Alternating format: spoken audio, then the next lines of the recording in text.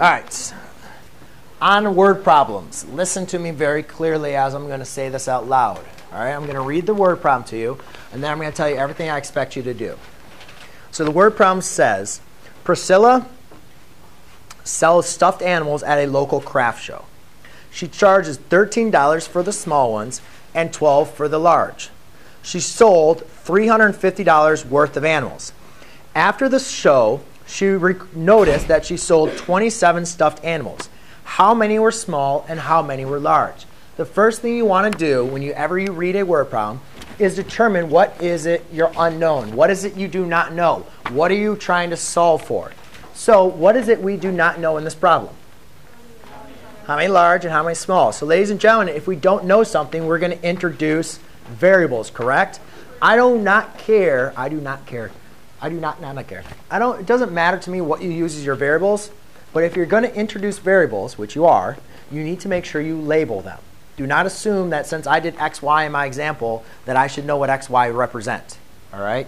Because you can use x, y, you could use L and S, you could use A and B. It doesn't matter what your variable is, you just need to tell me what they represent. So for this problem, I'm going to have x represent uh, the number of small sold, that's small stuffed animals, and y is going to represent the number of large animals sold. Okay, it doesn't matter. You guys could do A, B. You could use, you could switch the variables as long as you represent it. That's fine. All right. If you guys don't do that, I will mark you down for not labeling your variables. So please make sure you guys represent that. The next thing is we have two variables. And you guys remember when we're solving systems, what I keep on reminding you is whenever you have two variables, you have to have two Equation. equations, right? So let's go back through our let's go back through our word problem and see if we can develop our equations. So I'm going to kind of work backwards. So it said after the show, she noticed that she sold 27 stuffed animals. So the total number sold is what?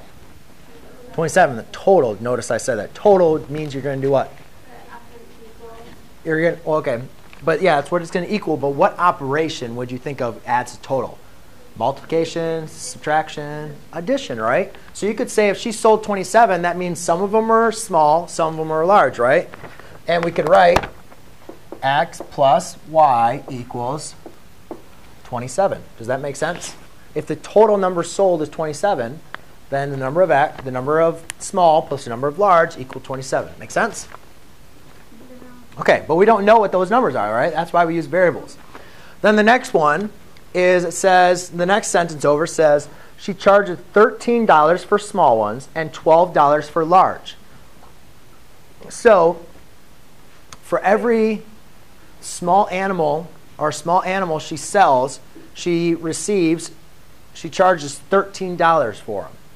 So how am I going to want to represent $13 per stuffed animal? 13x, right? Because you want to multiply 13 times how many she sells. So if you say 13x, and then how much does she charge for the smalls or for the larges? 12y. Now, so that's money, the amount of money she charges for the x, plus the amount of money she charges for the y, or per how many she sells for the y, equals the total amount that she earns. And the total amount she earns is 350. And there's your two equations. Now you've created your two equations. Now it's just going back to the first part of the test. How do you solve our two equations? Elimination, substitution, graphing, whatever you guys want to do. For this one, since I already did elimination, I'll do substitution.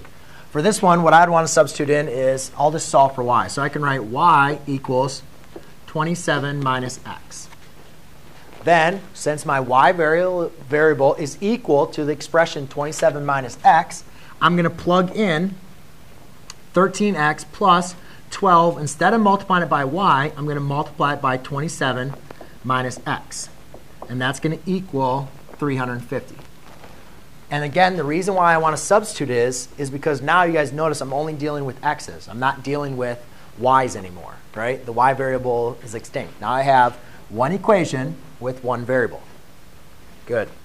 So therefore, I get 13x plus 324 minus 12x equals 350.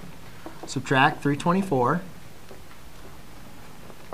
And then what happens is you combine like terms, you get x equals 26. So therefore, the number of stuffed animals is what? Or small stuffed animals is x equals 26. And then obviously you guys can see if x plus y equals 27, y has to equal what? Yeah. But you can still plug it in, or 27, minus 26, and you can still say y equals 1. Now the last thing I want you guys to remember is please put this in context of the problem. All right? The problem does not say solve for x and solve for y. The problem says after the show, she noticed, okay, after so, she noticed that she sold 27 stuffed animals. How many were small and how many were large? So please, guys, if you could sell, end it up with she sells 27 small and one large stuffed animal. Okay? Gotcha? So please make sure you guys put it back in context to receive full credit. And there we go. Huh? Wait, So you guys want to do the other one?